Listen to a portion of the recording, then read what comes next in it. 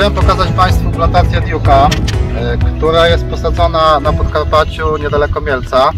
I tu właśnie widzimy e, tego diuka posadzonego na typowej glinie, gdzie była wcześniej zakwaszana siarką.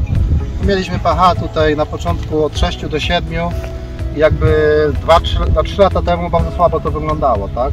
Natomiast po zakwaszeniu i oczywiście wprowadzenie takiego intensywnego nawożenia mineralnego oraz aminokwasowego, no widać co się stało, tak?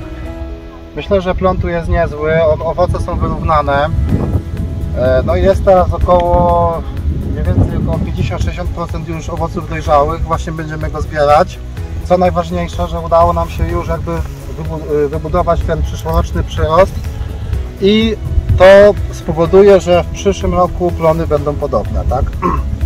Natomiast chcę Wam też pokazać e, plantację w tym samym miejscu, która rośnie na piasku, tak?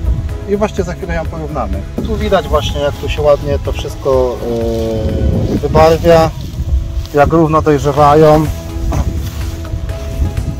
Też jest tutaj to bardzo ważne, że tu jest czysty materiał genetyczny, tak? I to jest ogromnie, ogromnie ważnie, ważne, dlatego tak szybko udało się jakby skorygować tą różnicę pomiędzy piaskiem a gliną wzroście. Ja osobiście uważam, że przynajmniej dla diuka i obserwujemy też to na Blue Cropie, że glina jest dużo lepszym podłożem do wzrostu borówki, tylko pod warunkiem, że jest odpowiednio przygotowana, zakwaszona, do tego pH załóżmy 4,85 i wtedy wymaga, znaczy jest mniej wymagająca, tak, ale trzeba na nią bardzo mocno uważać, dlatego że ma dużą zdolność do przesoleń i trzeba jakby z dużą dozą ostro- ostrożności podchodzić do nawożenia e, na takiej miejscówki. Jesteśmy właśnie w drugim miejscu, na takiej glinie bardziej piaszczystej, mimo że jak zaraz Wam pokażę, wilgoć jest w miarę, jest bardzo dużo wilgoci, tutaj zaraz wyciągniemy korzenie.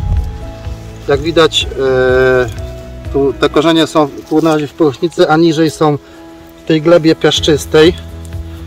Muszę się do niej przebić. O.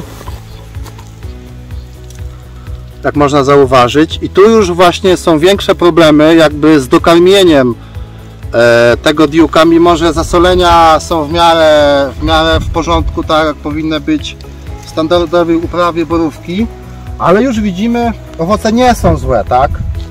Też są w miarę wyrównane, ale są niewiele mniejsze od e, tamtej powierzchni, gdzie jest glina.